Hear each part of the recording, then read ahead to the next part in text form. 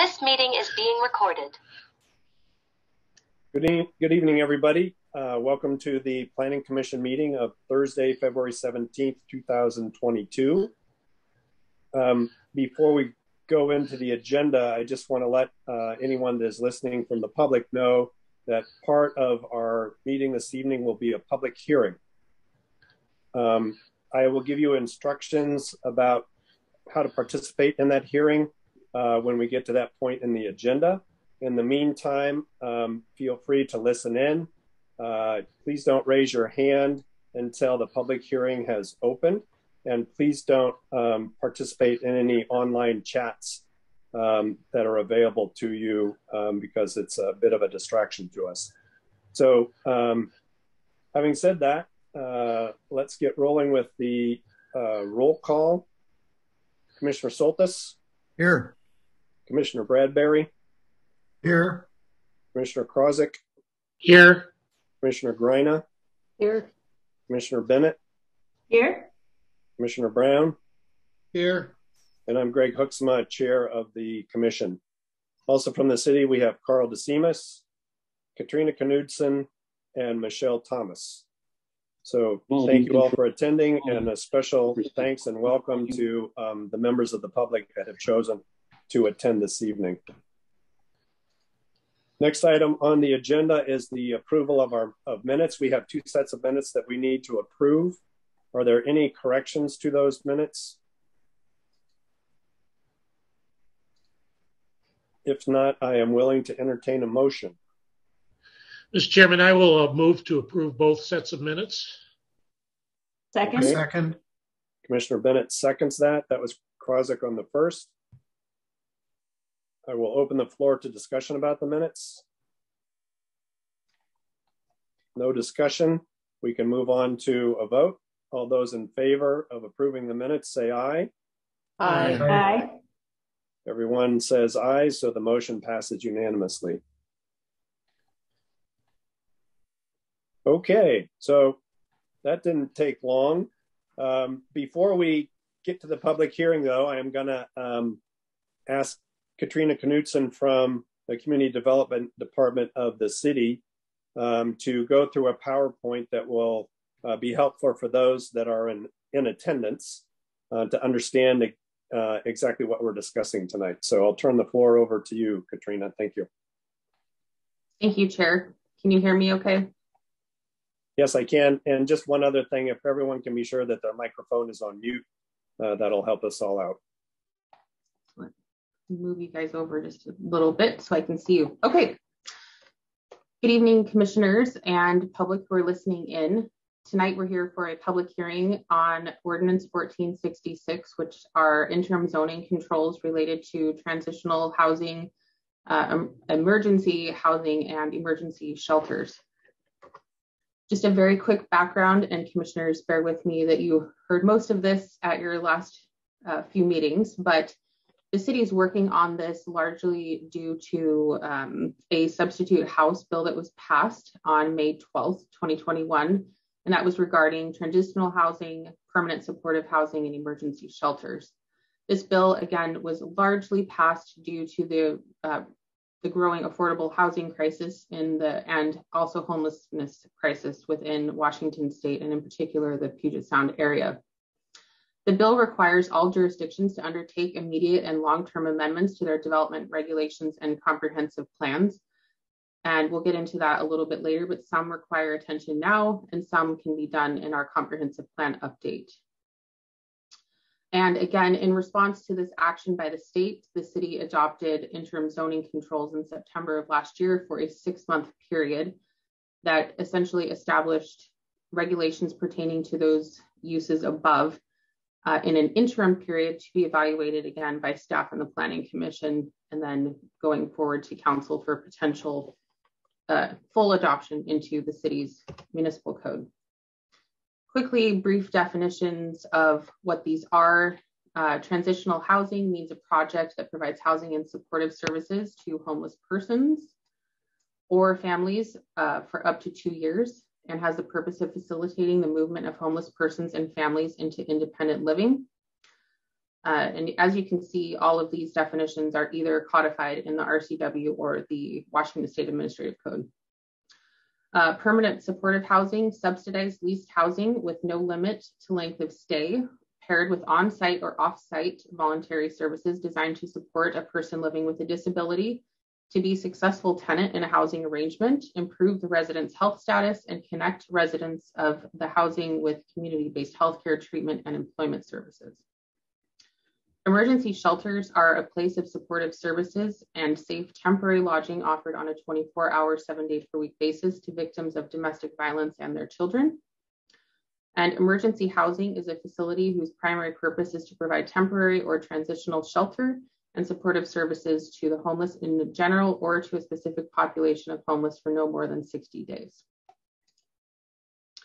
The City Council actions on this already. They conducted a public hearing after we adopted interim regulations. They adopted findings pursuant to that ordinance at a sub after the public hearing, and they directed that the Planning Commission consider what was adopted to see if there were any tweaks that needed to be made and requested a formal recommendation.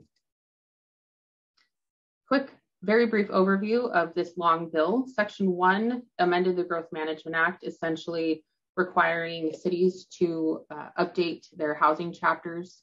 This is um, the language no longer encourages affordable housing, but requires for jurisdictions to plan for it.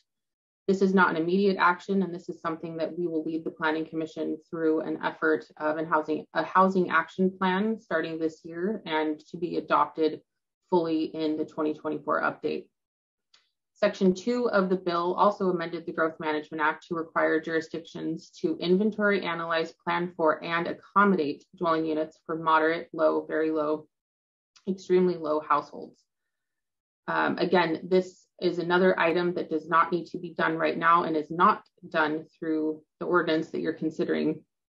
However, these definitions of moderate, low, very low, extremely low. Those vary by jurisdiction. I know there was a question at a previous planning commission meeting about what that uh, income level is for for the city of Gig Harbor specifically.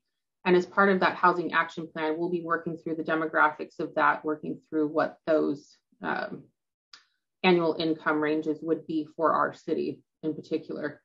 And again, this is another item that we will be starting this year and would not be due to be finalized until the 2024 update is uh, due to the state in June of 2024. Section three uh, is the section that we're largely here to discuss tonight, and this section preempted local authority from prohibiting certain shelters and housing types. The bill did add a section to uh, 35A21 that a code city shall not prohibit transitional housing or permanent supportive housing in any zones which residential dwelling units or hotels are allowed. A city code shall not prohibit indoor emergency shelters or indoor emergency housing in any zones which hotels are allowed. And as we'll see on a few slides later, that is what we have, uh, what this ordinance proposes is to be consistent with primarily this section. Uh, section four does not pertain of the bill does not pertain to the city because we are a code-based city. Um, section five of the bill amended the Growth Management Act to prohibit jurisdictions from utilizing interim controls to prohibit uh, intake of building permit applications for any of the uses that I described earlier. Um, and then section six adds the definitions of emergency shelter housing and moderate income household, as those were not previously codified in the WAC or the RCW. So the specifics for Gig Harbor, transitional housing and permanent supportive housing pursuant to this state law would need to be allowed in all of our zones except for PI and ED. Uh, staff proposed to council and it was adopted that these be conditional use permits that require a hearing in front of the, uh, the hearing examiner and would also be subject to um, meet certain conditions um, such as noise, traffic, etc. We've placed those regulations in the ordinance and as in a new chapter 1755 to specify those conditions. For emergency shelters and emergency housing, those would be again conditionally allowed in RB2, B or sorry, DB B2, C1, and PCDC. And those are the zones within the city where hotels are currently allowed. And as you'll recall from a few slides prior, that was the um, requirement from the bill that emergency shelters and emergency housing be allowed in zones where hotels are allowed. Again, okay. staff has recommended. Yes. Excuse me, but would, for the sake of our guests, would you mind just say, letting them know what PIED and those other acronyms stand for quickly? Yes, Carl, correct me if I'm wrong. Public institution and employment district are the first two. RB2 is, I can't think of it right, residential business two. Uh, DB is downtown business. B2 is business two. Um, C1 is commercial one, so the lowest level commercial. And then PCDC is the planned. I'm going to get it planned wrong. Community, planned community development commercial. There we go. And it is a Harbor Hill development agreement specific zone that's only in, in that area of town. Thank you for that, Chair. We get into our acronym world and it's um, appreciated that you bring us out of that. um, and so, as I mentioned, again, these would be conditionally allowed. So they would require public notification within uh, 300 or 500 feet of a proposal for one of these. So citizens would be uh, notice of this and be able to comment to the hearing examiner. Again, there would be conditions associated with that. The alternatives to both of these would be either a straight approval, where it would be uh, approved outright, or an administrative approval, which I can do at my level.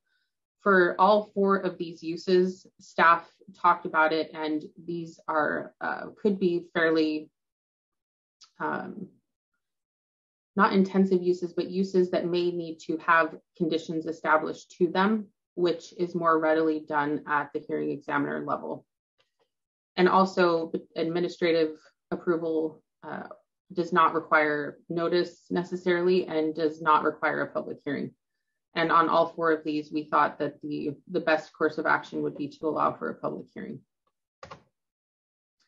These maps visually depict what I've talked about on previous slides. The green is all of the zones that dwelling units and hotels are permitted. And you can see that depicted in green. So there's very few areas of the city in which transitional housing and permanent supportive housing would not be allowed. On the right side in red, you can see the affected areas where um, the zones that hotels are currently permitted by our zoning code. And those are the zones where emergency shelter and emergency housing would be able to locate. So the proposed planning commission actions for now would be to conduct the public hearing, uh, ask any questions of staff, and then make a formal recommendation to the city council. And if I may, after our meeting with you the last time, we took an extra good look at the ordinance. And so items that we're recommending the Planning Commission include in their recommendation would be these modifications to the ordinance. Under section two, you can see here where it says 17 and then 55 in red. This previously said 57. For proper legislative drafting, we need to have the 55 come before the 57. And so you can see that we now have 55, 1755 here, and it's the same here now and here. And then down below, we've corrected the numbering to be 1757 because that comes after 55. Just a clerical error. So in your recommendation to council, we would recommend that those clerical errors be corrected. Additionally, there was one more error that we found in the original ordinance, and that was for uh, WR, WM, and WC, waterfront residential, waterfront Millville, waterfront commercial. The previous ordinance had permanent supportive housing and transitional housing as not being allowed. However, in order to be consistent with the adopted state law, uh, residences are permitted in all three of those zones, and therefore we would recommend that the Planning Commission add a C under all three of those zones for both permanent supportive housing and transitional housing as outlined here. And we do try to be as perfect as possible, but we fortunately found these errors before it got through the planning commission process and we appreciate your help in correcting them. And with that, staff is available for any questions prior to the hearing. Okay, thanks for that um, that reminder there, Katrina. And, and, notice how I skillfully asked you to inform our guest about what those acronyms stood for. Uh, it was actually for me. Oh, well done.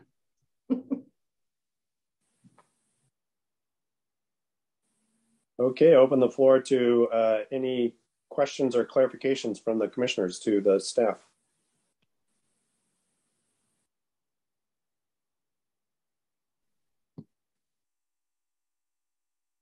Okay. Uh, Greg, may I ask one question here? Of course. Uh, uh, Katrina, I have a question regarding the uh, conditional approval. You mentioned something along the lines of that some of these conditions are taken care of by the design review board, perhaps as opposed to actually putting them into the ordinance. Uh, I was thinking in terms of an occupancy requirement uh, for one thing. Um, is that something that would be addressed when you got to the lower level design review? For occupancy specifically, the building division, specifically the building official, will be looking at any applications for these to ensure that proper occupancy limits are set. Um, as far as the design review board, much of the design would be likely taken care of, at least for the residential components of this, could be done administratively. Um, I'm not sure if there's a specific type of condition that you were thinking. Yeah, I was thinking along the lines of um, making sure that whatever organization that manages these uh, shelters or facilities uh, is well qualified, has uh, background, has the kind of typical thing you'd want to do to know about to address the health and safety of the community. Are these uh, solid citizens that have done this before, that have been approved by Pierce County, some kind of mechanism like that? Uh, is there going to be proper safety and health requirements addressed for uh, just the safety of the occupants and, and, and the concern of the safety of the residents? Kind of concerned about how that gets addressed properly to make sure people are um, are well served in the community. Yeah, I think that would probably that that would be a good amendment to make to the ordinance to include a condition regarding think just thinking off the cuff a condition that it must be managed by a licensed um, nonprofit or uh, agency that would look at those items that you said. I think that could be an amendment included in the planning commission recommendation. Okay. Thank you. Because our the ordinance, you're correct, does not state that right now. Okay. Commissioner Brown? I'm interested in the definition of the uh, emergency shelters. Just who who would be sheltered? What what would the qualifications be in order to be eligible to use the emergency shelters? Um, currently, the emergency shelter definition is a place of supportive services, temporary lodging offered on a 24 hour, seven day per week basis to victims of domestic violence and their children. So it's only victims of domestic violence. I mean, suppose we had a, uh, a fire in a neighborhood that destroyed a bunch of houses. Would those people would not be victims of domestic violence, but they'd certainly need shelter. Can you tell me whether there's any circumstances under which people other than victims of domestic violence would have access to the emergency shelters? Yeah, that's a good question. And I think we addressed this at the last meeting a little bit. But essentially, the emergency shelters that are being talked about here that are defined in RCW 7, uh, 7123020 are of um, a shelter that would be a permanent structure that would be there kind of for a, continuous emergency basis on an emergency for individual emergencies. The emergency shelters um, that you're talking about are a different set under different codes that are for, you know, either natural disasters or um, community-wide emergencies, and those are typically um, temporary shelters uh, because the I mean, we would hope that the emergency would not be long term. And so those are taken care of under a different section of state code. So this ordinance essentially would not disallow those temporary emergency shelters. Thank you.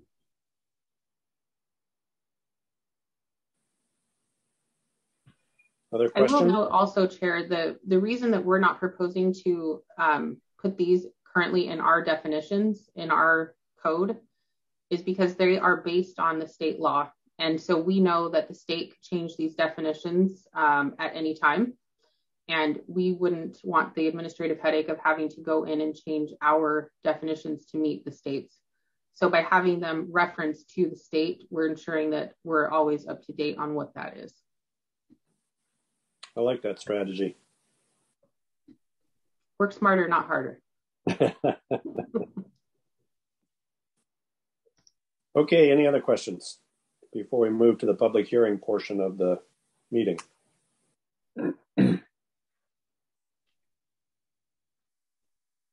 okay. So at this time, I will open the public hearing.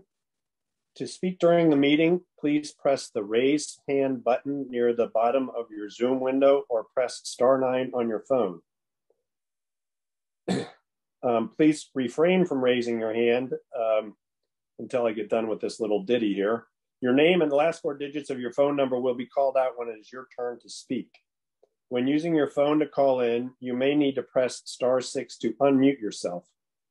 Everyone will have up to three minutes to speak, and Michelle Thomas with the city um, at the three minute mark will turn your speaker off and mute you. Um, please confine your um, comments to uh, the subject at hand. Um, and I would just like to add a comment that um, we had solicited written public comments and have uh, had received none. So um, I will start to identify any, anyone that raises their hand. And if you would please um, state your name and your address before you um, speak, and your three minutes won't start until you're done uh, telling us your name and address.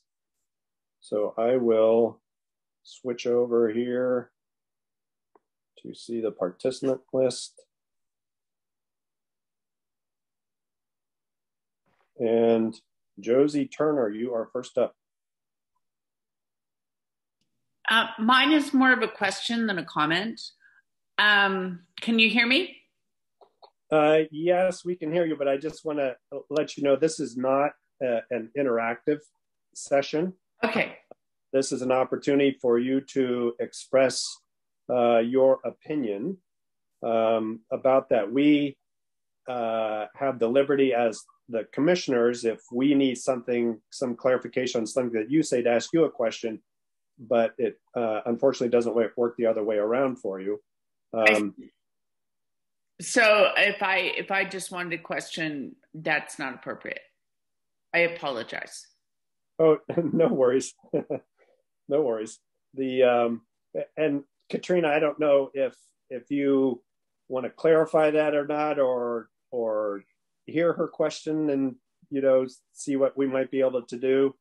Um, no, you're you're following the correct protocol. I would say that you know we could hear it and you know maybe address it later, or if in her comment she'd like to give a phone number or email address, and Carl or I can get back to her. Okay. How's that sound, Jody? Do you want to, would you like to make a comment and and uh, and put a question in there that maybe the staff can get back to you about? Right. So um, I I contribute to um, an organization that um, helps uh, international refugees um, from countries that uh, are, you know, in distress or people that are fleeing war torn places. And um, I have a place in my home, an apartment that I don't rent out, but I'm wondering if that would fall into the purview of a homeless or a emergency shelter because in a way they, it is an emergency shelter because they're always saying can can we send somebody to stay with you for until we find other housing? And i've been reluctant to do that. So um that's that's simply my question. Okay thank you very much for your comment and um, I think perhaps uh, if you could email Michelle Thomas, um, and you can, you know, it's just michelle.thomas at. Yeah, I, when I signed in, I put my email. Is that uh, enough? Yeah, I think if you provide your, send your question or just a recap, you know, I'm, I'm, I'm Josie Turner, the one that, okay. that asked the question. She'll, yeah, she'll get back to you. Um, and and either her or one of the uh, other staff members. All right, thank you very much. Okay.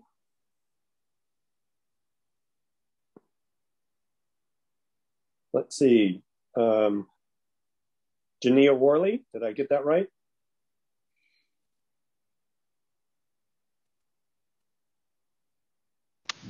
Can you hear me? Yes, we can. All right. Uh, Janae Worley, 3405 Erickson Street, apartment D as in dog 5, Gig Harbor, Washington 98335. Welcome. Um, comment?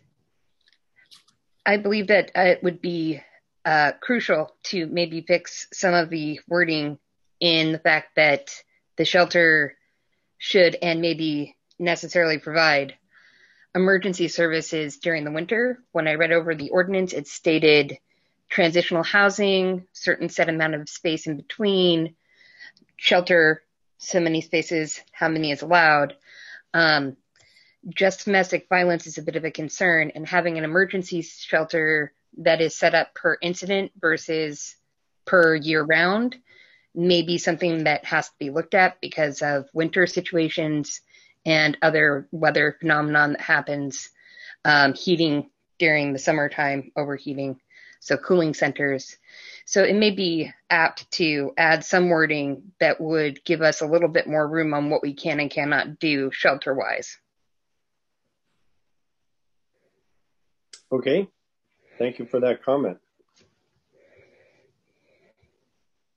I see a couple other folks that are listening in. Um, do you have an interest in making a statement or a comment?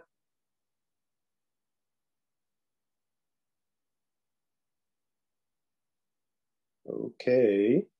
Oh, EW, go ahead. Okay, can you hear me?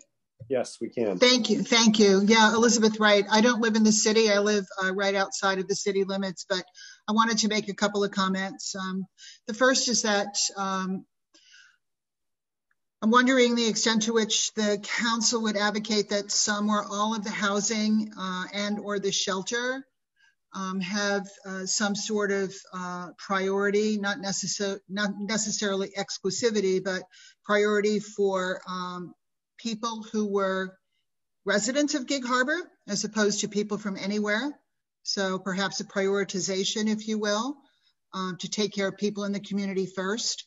And my second comment is that um, picking up on the comment that was made about a licensed nonprofit, I think which everybody um, echoed the same sentiment. I would add to that that that licensed nonprofit should really demonstrate a proven successful record of past performance of implementation of projects of similar uh, scope as the one being contemplated for Gig Harbor. Thank you.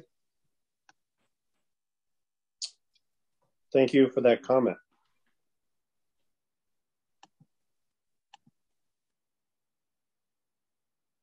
So um,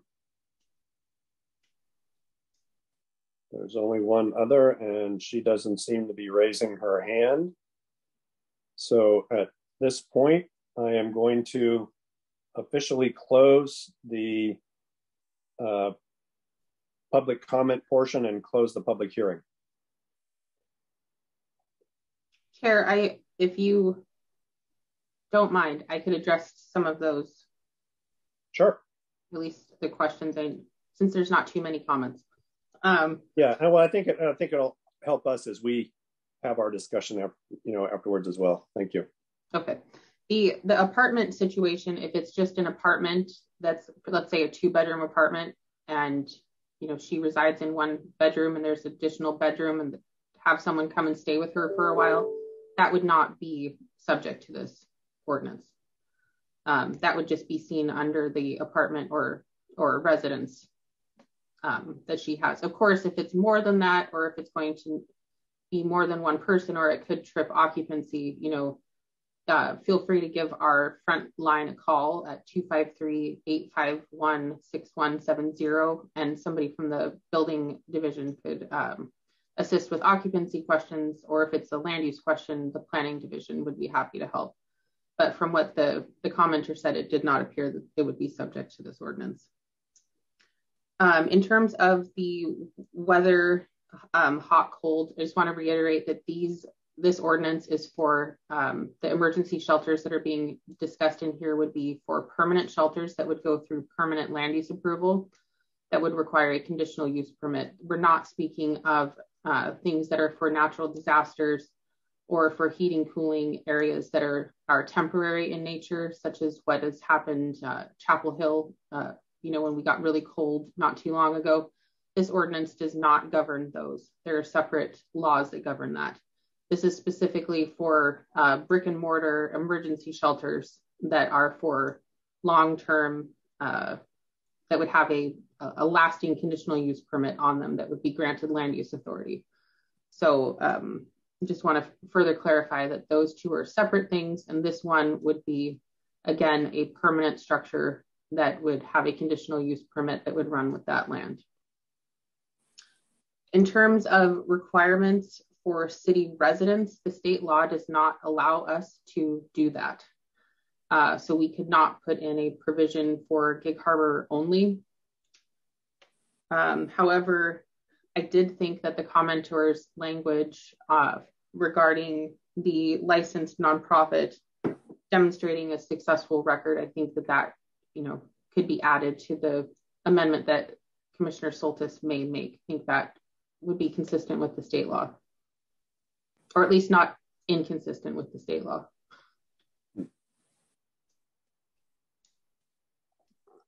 Okay, thanks for those uh, clarifications.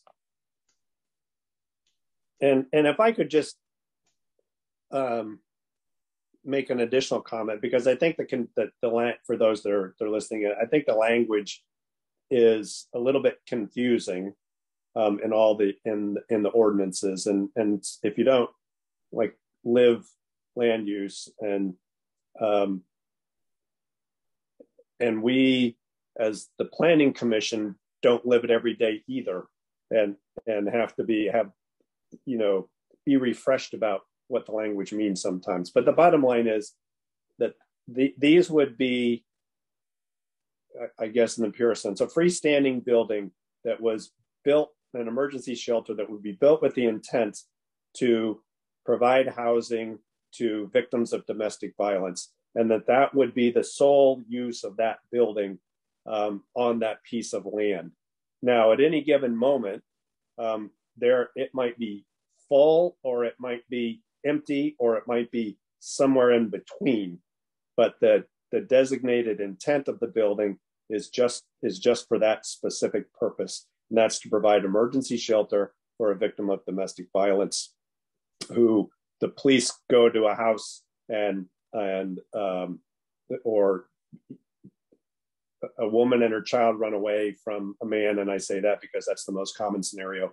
Uh, and they have a place to go and stay safely um, and so with the other the other two building types it's the same thing that it would be uh, a purpose built building or a current standing building that was purchased with the specific intent to change it into this function. So um, if that helps you all to understand, um, uh, it, I think perhaps um, that'll clarify things a little bit. And hopefully I didn't get any of that wrong, Katrina. No, that's a good explanation.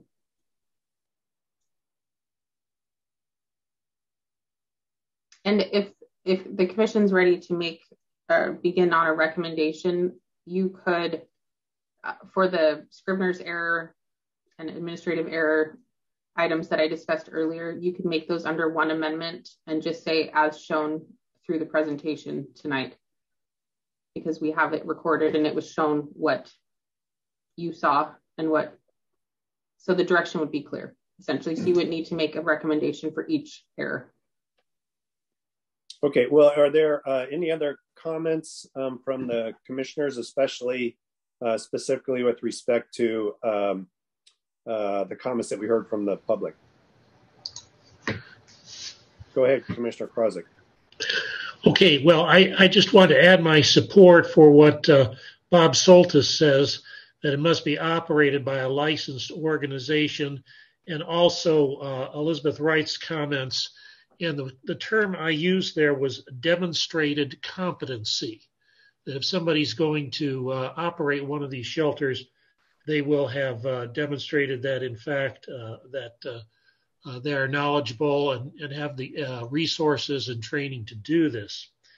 And Greg, I also wanted to second what you said about clarifying to make these more specific in terms of what uh, these shelters are actually going to be doing. There were uh, a couple of other things that I thought of as I was listening to the comments.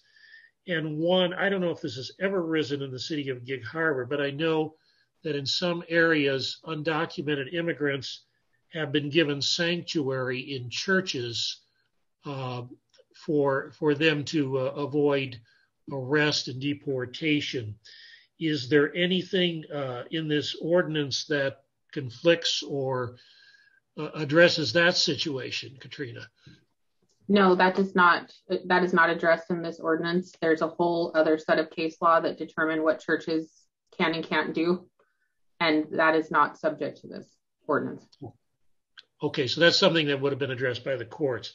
Yes. And the the second thing that I uh, that occurred to me is I know sometimes that people have relatives in the emergency room in the hospital, and sometimes it becomes a long drawn out process. If the hospital were to be able to provide like travel trailers or other sorts of uh, that kind of shelters in their parking lot for these people to remain overnight, would that be permitted under this policy, under this ordinance?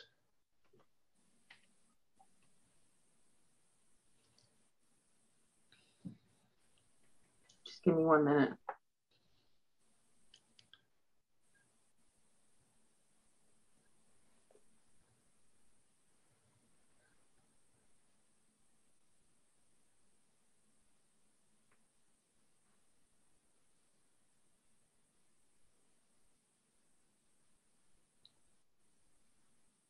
I don't believe that that would be covered under this the the reason I say that is the transitional housing and the permanent supportive housing, those are talking about actual homes that are being converted or used for the purpose of transitional housing or people who are transitional. That doesn't mean that someone who's staying or needs shelter from the hospital couldn't stay in one of those shelters, but this would not be, um, we would not permit a dwelling unit per se on the hospital property.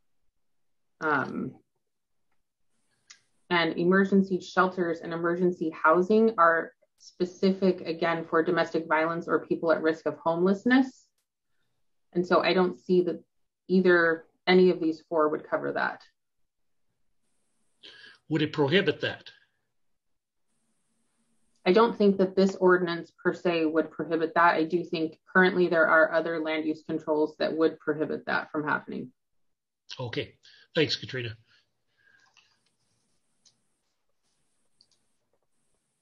Very good questions, though. Uh, Commissioner Greiner?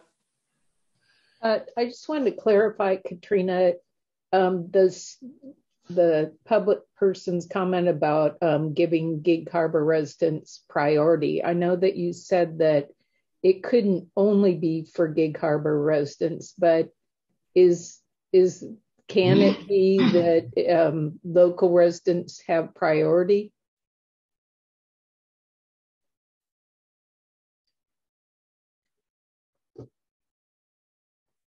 And if I, I just wanted to clarify because she's she didn't say that it would only be she was she was suggesting that local residents have priority.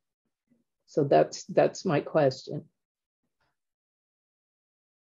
I will need to check with legal counsel on that. However, if the planning commissioners, I, I definitely see where you and the commenter are, are coming from on that. And if the planning commission were to make that recommendation, um, I would recommend that it would be, um, you know, that we give Gig Harbor and residents priority at these facilities, um, if allowed by law or something like that. Okay. And then we can check with the city attorney tomorrow. And if he says yes, then we'll put it in the ordinance. And if not, we'll follow up with the commission. Thank you.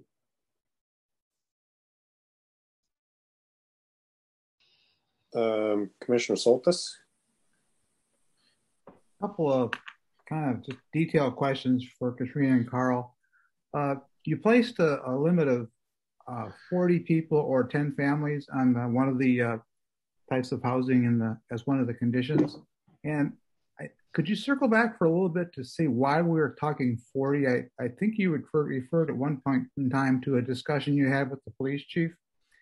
Um, is, is that your data source for making it 40 based on that conversation?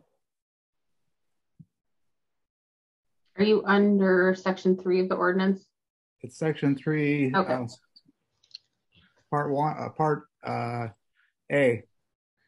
Occupancy will be limited to 10 or 40 people, 10 families or 40 people. Yeah, this this section, and again, it was a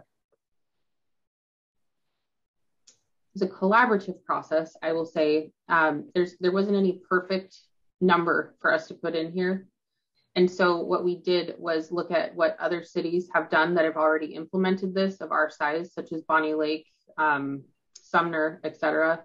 And these are the numbers that they utilized. So in a professional sense, I will say we borrowed uh, this condition from their regulations. I will say that this is also not inconsistent with the intel from the police chief. Hmm. And a- again, if the problem, if the homelessness problem around in and around Gig Harbor, you know, exceeds where it is now, and we find that there's more pressure, then we can always open up this ordinance for for revision. But we thought it was a good um, that it provided relief now to try it here in the harbor at least, you know, since we don't have anything that way, and we also didn't want to allow an exorbitant amount that could have the public potentially up in arms from this new use that has not been allowed here before. I know that's not a, a science, but it's kind of how we came up with that.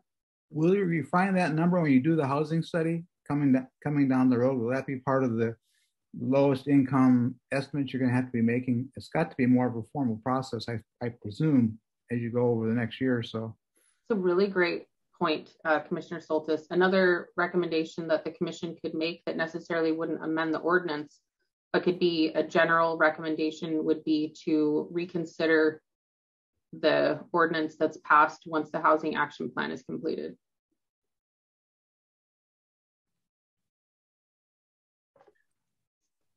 Greg, I have a couple more if I may. Sure.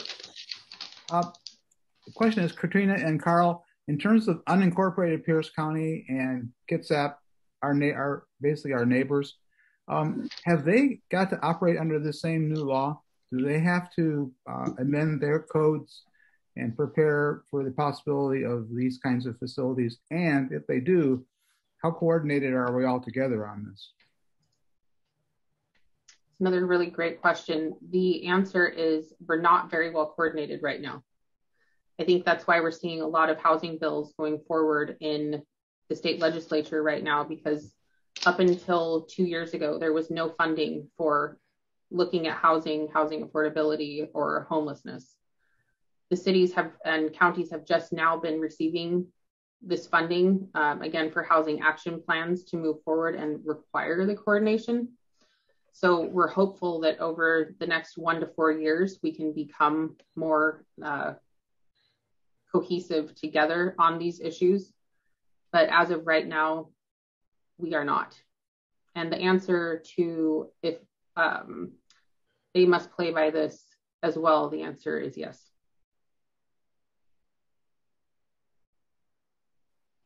One question is another question is on transportation, local transportation lines. Uh, it seems to me that any facility like this must be close to public transportation to really be to be serve serve the, its residents. Um, is that did you guys draw an overlay on um, the bus lines to, to are they all within these areas? It would seem to me basically you need to be close to a bus line if you put one of these places in. Otherwise, it's going to be um, very, very un, untenable for the people that actually are staying there. Yeah, the city concurs with you, and through our um, legislative delegation and our lobbyists, when this bill was being considered, we, uh, along with other AWC, um, um, Association of Washington Cities, lobbied for the the transit component that it you know be within a half a mile of of transit or rapid transit. And the bill that ended up passing again was that they need to be allowed in, and they did it zone specific based on the use. So for the emergency shelters, they said any zone that allows hotels. And so that didn't say to us any zone that allows hotels that's within half a mile of a transit stop. So um, we did not overlay transit on our maps because it was not a consideration that we could disallow something for. Okay, thank you, Katrina. Right. Commissioner Brown, I think you were next. Thank you. Yeah. I did not understand what our ordinance was saying about increasing residential density. So could you kind of explain that, please? I'm not exactly sure what you're referring to. Well, wasn't there something in the state bill that said you can't prohibit multi-dwelling zoning and doesn't our ordinance address that? Um, are you speaking about the housing bill that was going forward recently? No, well, I'll tell you what, I can't get I can't get that document up on my screen at the same time that I'm looking at you. So maybe I'll uh, just send you an email reference, and uh, that's the best I can do right now, I guess. Okay, um, Chair, if if if at the end of this, once we have the recommendation, I'm happy to give an update on the the joint House Senate bill that was going to increase residential densities that was going to affect Gig Harbor. I, I can give the commission an update. Okay, yeah, thanks. All right, Commissioner Bennett, you're up. All right, thank you. Um, the one of the questions that I have is more related to uh, the term temporary when they talk about temporary indoor accommodations. Um, and is there anything that we would need to do or any concern in terms of what temporary means and how long someone would actually stay at a place like this? Um, is there any concern that someone might come and turn it into more of a, a long-term situation or is there some situation in which temporary requires these the people who come to the emergency shelter to be gone after a certain amount of time or I'm, I'm just kind of curious what we're considering temporary are you referring, are you speaking of the emergency shelters? Um, the term, yeah, under section three here, uh, number or the letter F. Okay.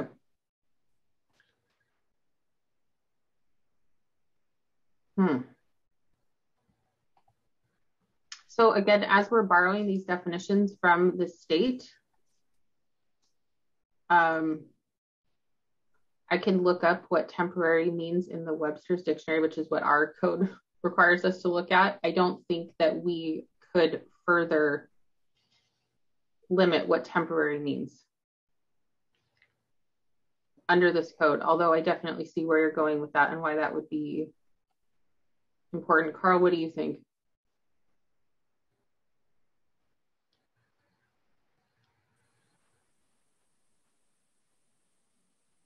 Sorry, I was just uh, I was just reading that as well. Um, you know, I think in in answer to a couple of these questions, I believe that these uh, this type of housing will be regulated uh, as well by a state agency. And so I think some of what we're discussing as far as uh, you know how long a stay would be allowed there, uh, you know whether the operator is is licensed, um, and those sorts of issues. Some of that I think is is going to be um, worked out through uh, a state agency that has oversight for this type of use, much like a like a daycare center or something like that, where we we as the local jurisdiction would permit that um, that use but there would be a state agency that would be overseeing uh, the licensing of that use, something like liken it to liquor control board or something like that. Um, and so I think that uh, likely there would be some some rules and regulations relative to um, the term temporary or dictate how long somebody could stay there. I don't know that for sure, Commissioner Bennett. So I'm I am surmising just a little bit uh, I think it's a really um, good question. I think it's a good point. Um, don't have don't I don't have, yeah we don't have a ready a ready-made answer for it unfortunately. Without that, Carl, it's a wild wild west. How do you have any kind of uh, consistency across these areas? You, you got to have some body other or, or is it going to be the city of Gig Harbor that jumps into that? And I, I think the answer to that is probably hope not, because that's outside your purview. I think. Um, yeah. Maybe. Yeah. Yeah, I, I, think, I think all of this is is managed by the homeless housing and assistance program under chapter 43 of the state code um, and so i think that the, you know I think there's other requirements that we're not going to have in our code because we are not going to be the ones checking the backgrounds of the companies who are running these places. Um, they would need to have state approval, something similar to, you know, the city can't approve um, a health liquor license or approve, you know, if, um, you know, food is being um, prepped properly. There's other agencies that, you know, step in. So from our perspective, what the city would have control over, it would be what's in this ordinance. I uh, I do have a quick question. I wasn't able to determine from the legislation uh, will joint use facilities be permitted, or is that up to the city? Joint use facilities are not a requirement to allow here. And so I would say that that would be up to the city. And currently we would not allow those. Thank you. You guys are so smart. Good questions. They are. I, I, would just reinforce it, it, you know, what Carl said, because that's kind of been the, the question that's been nagging at me ever since that um, uh, Elizabeth White made the comment that you know, how do you know they know what they're doing? Um, so it's reassuring to know. And, and as you were talking, Carl, it, it occurred to me that it, it's no different than, than the city says you can build a medical clinic here um, on this site, but the city doesn't have anything to do with it to ensure that Doc, Greg, you know, Dr. Greg Hooksma working in there has a current medical license. Um, right. And because, and I think it's obviously important for the public to understand that because these are high risk kind of situations. You know, with domestic violence, very high risk situation, um, and you know, with homelessness, you know, one of the largest contributors is dual diagnosis people with mental health disorders and drug addiction. So, so obviously you have to have skilled people inside of those facilities, um, you know, working and and working with the population. So, um, I, I guess it would be great to have an absolute reassurance that what you're saying, Carl, is true. but but it also seems pretty reasonable to make that as a as a as a pretty solid assumption. You know, I was just thinking as this was all we're talking about this, I think another recommendation that could be made and put under both sections would be that these the facilities must abide by all applicable state and local regulations and obtain all applicable state and local licenses. Yeah, I like that. Mm-hmm. Yeah, I think that's that's a good um, that's a good catch-all. You know, and there's one other item that, in talking with the building official and the police chief about this, that we could consider putting in under both sections would be it is within our right to have an annual uh, safety inspection of all of these facilities. And so that we did not previously include that in the ordinance, but that could allow for um, the police chief or his designee or the building official and his designee to go in once annually to ensure um, health, safety, et cetera, is being uh, adhered to. And I believe that Bonney Lake ended up adding that to their ordinance regarding this as well. Sounds good. Katrina, I also noticed uh, Redmond had an ordinance that had occupational requirements uh, at a fairly detailed level that we certainly worth looking at because um, that's kind of where I got my thoughts on it. Because uh, we're talking about some places that could have some potentially um, uh, individuals that might be at risk to themselves and to the community. And I think we're, we have an obligation to you know, look after the welfare of our of our citizens, uh, all of them, all in all categories. But uh, you got to have a good plan. You got to have the right people in place to make sure that all comes off smoothly and with, without any kind of um, bad outcomes. So I thank you for that. I'd be interested if you'd like to send that along to to us to to take a look at that. I know that we were hoping to get a recommendation from the commission tonight, but with the amount of questions that are have come up, Chair, I'd just like to offer that perhaps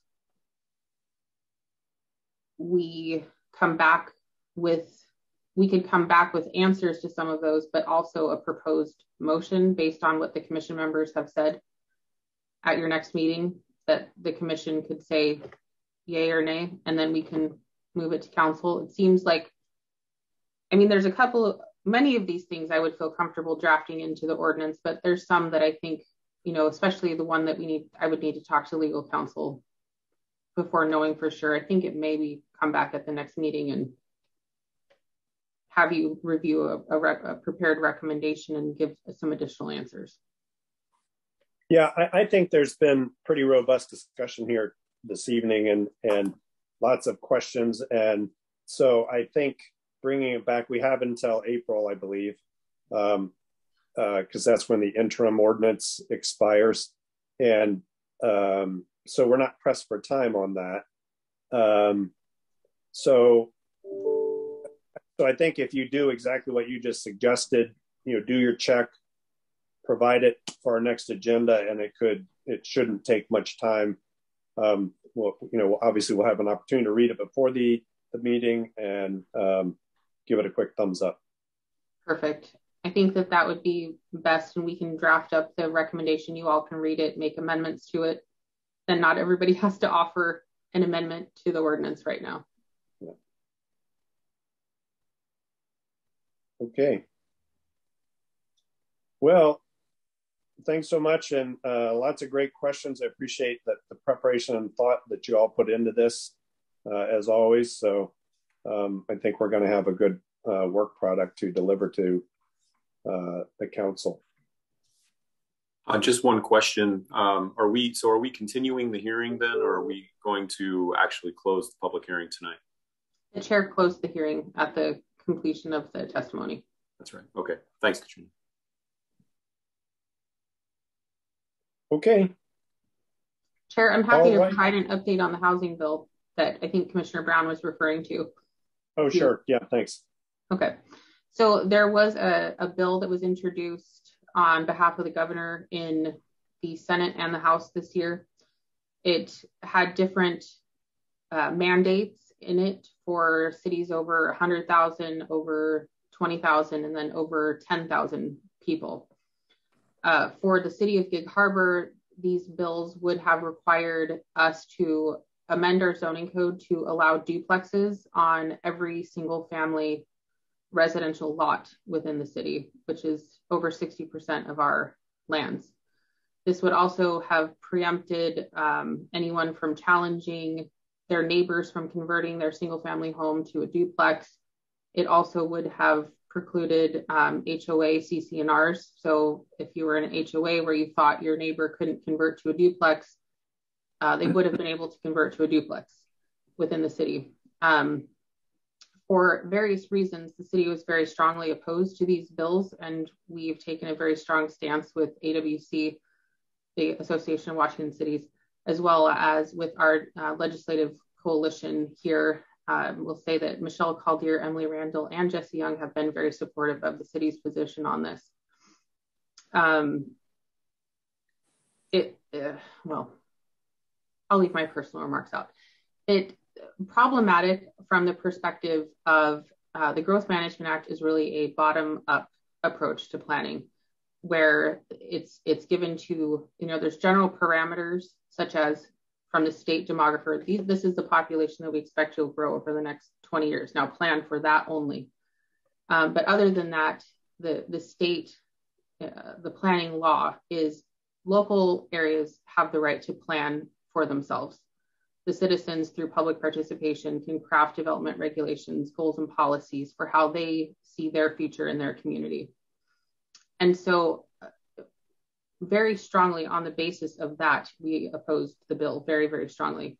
The mayor did testify along with um, 14 other local mayors of cities in opposition to this bill when it was heard in the House. Um, the same day that that happened, we found out that it did not make it out of the Senate Ways and Means Committee. So effectively, it died in the Senate, did not go to the floor. Um, it did make it out of the local government committee on the House side. And um, we had a plan going forward, again, strong plan from a city perspective to have this either strongly amended or um, for it to not survive the session.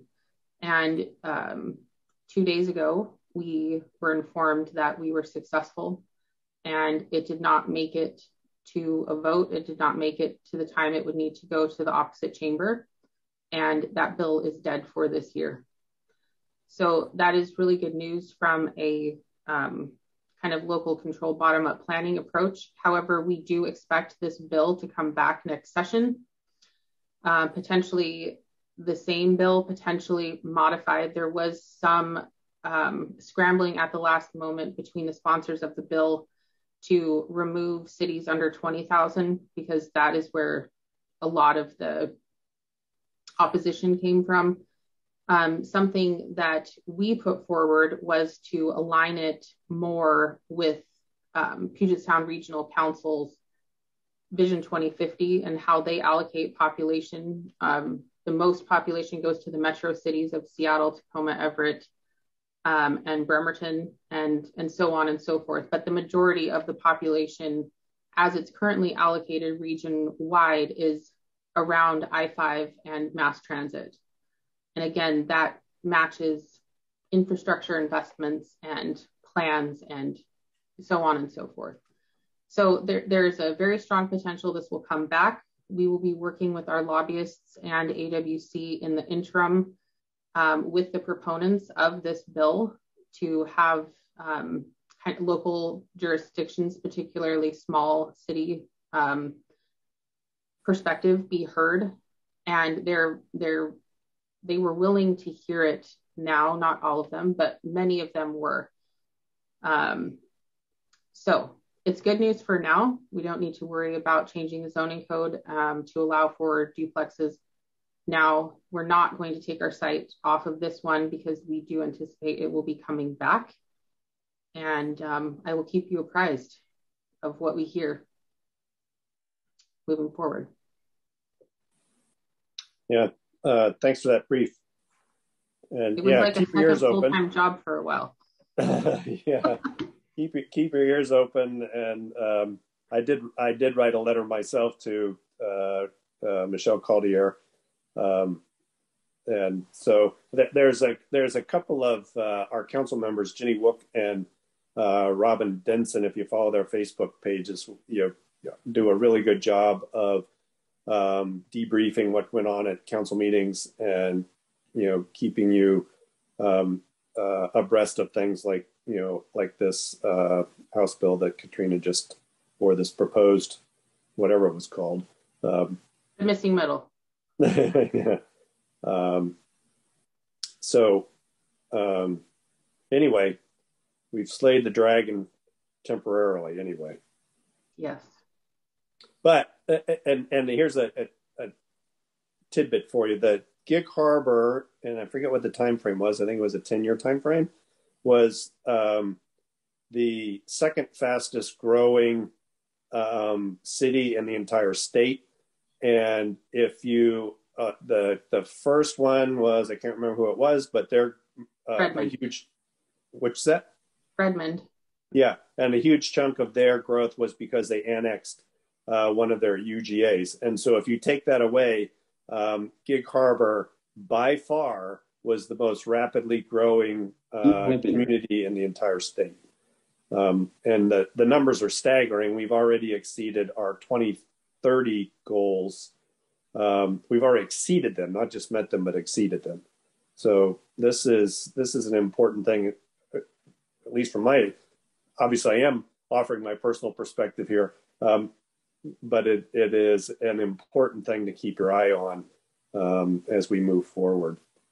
Totally agree. I, I was invited to sit in on Representative Paulette's. He had a stakeholder committee of several um, local community development planning directors, um, the governor's office, uh, AWC, the master builders, realtors were all, they had representatives invited. And I will say testimony given was very striking on behalf of Gig Harbor in saying that because we could, I could point out a direct impact of this bill.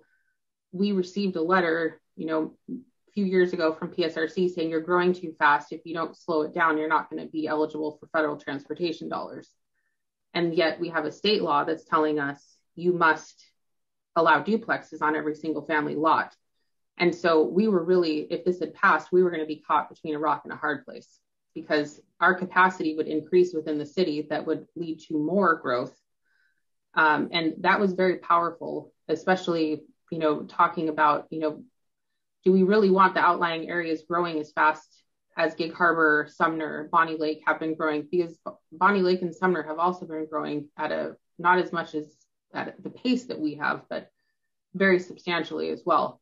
And you know, the answer uh, from a GMA perspective, as well as a Vision 2050 perspective, is no. They want the outlying areas to grow slower so that they can focus uh, infrastructure investments on the core, which is where they want the growth to occur.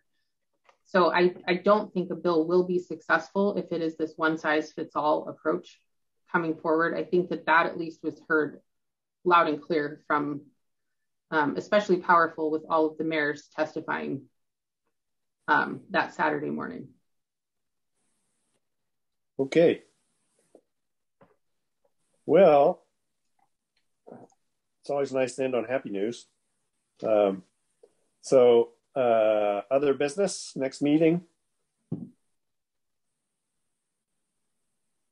I have a process question for Katrina. Um, to send you something that, as a result of this meeting, maybe some language from another city do I send it to you and then you make it available to the rest of the commission, or do you just take the information and use it to craft another alternative? What's the best way for me to proceed, basically? Um, send it to me, and then I will communicate or Michelle or Carl will communicate your suggestion um, as an FYI to the commission, but I will take it into the recommendation that I'll be drafting.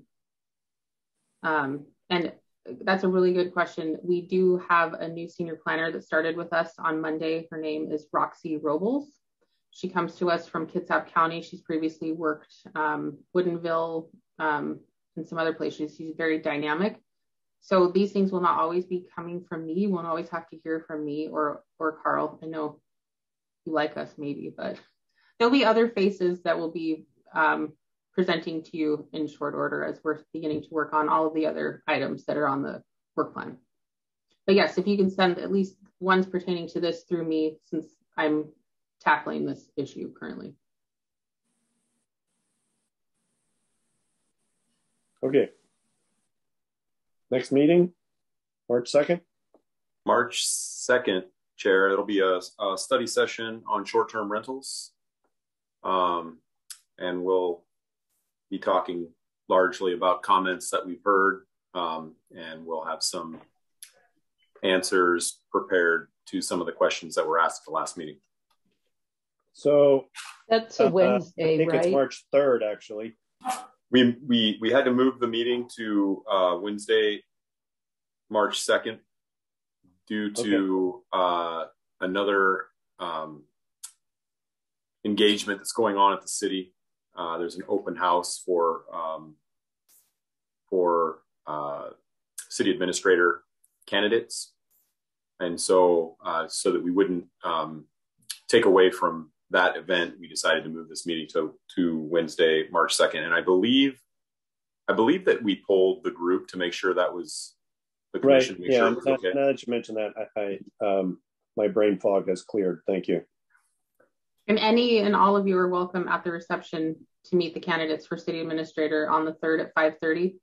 There'll be light refreshments and I think we'll, we're bringing in three or four potential city administrators. So if you'd like to come meet them, you're welcome.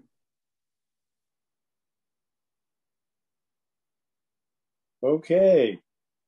Well, another night of good work, folks. Appreciate it. And um, without, unless there's any further thoughts from anybody, I'm willing to entertain a motion to adjourn the meeting. So moved. Second. Seconded by Grina. All those in favor say aye. Aye. Aye. The vote is unanimous.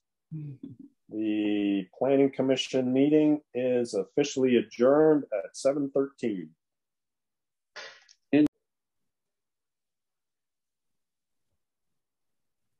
Would you like to ask your question again, Chair? Yeah, um, I just was wondering what your thoughts were um, after our combined meeting with um, the city council members.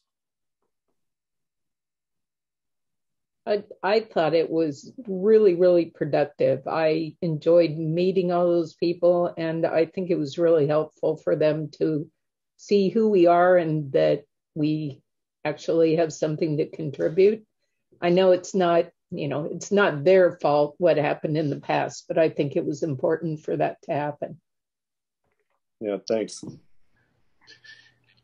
Rick, I think it was it was good to meet those people because there's been uh, a lot of turnover on the council. So I was really glad to uh, get to attach the names to faces and hear what they had to say. I concur. Yeah. Yep, here, here. It was nice to hear also what some of their priorities are. Would each of them kind of have different things going on that their interests are? Yeah. I was impressed to hear all the uh, extensive resumes of the planning commissioners. That was a pretty, pretty impressive group. I mean, I knew you were, but you know. That's what Carl and I were talking about the next day. Yeah, I, I we already knew, like you said, Commissioner Soltis, we already knew that, but it was impressive to hear all of your backgrounds like like that, and and, and as well as the uh, council members as well. It's, we've mm-hmm. got a, a, couple of uh, really impressive groups here. So, yeah. Well, I, I think you know, from my perspective, I I I couldn't have scripted it any better. Um, as far as the interchange, the openness, the um, uh, true um, passionate understanding of the council members about um, what what we had been through and what we had to offer them and and the way that they saw us as um, a, a, critical um, group and tool to to help them do their best job. So um, it I think it was just a, a, fabulous evening and a fabulous outcome. Mm-hmm. So, all right. Well, it was one of the best meetings in a long time. Was, we were very proud to be part of it. Yeah. Well, thanks. Thanks for um, uh, what's the word? Um, not organizing it, facilitating. that's it. Thank you. thanks for thanks for facilitating it. I'm getting old.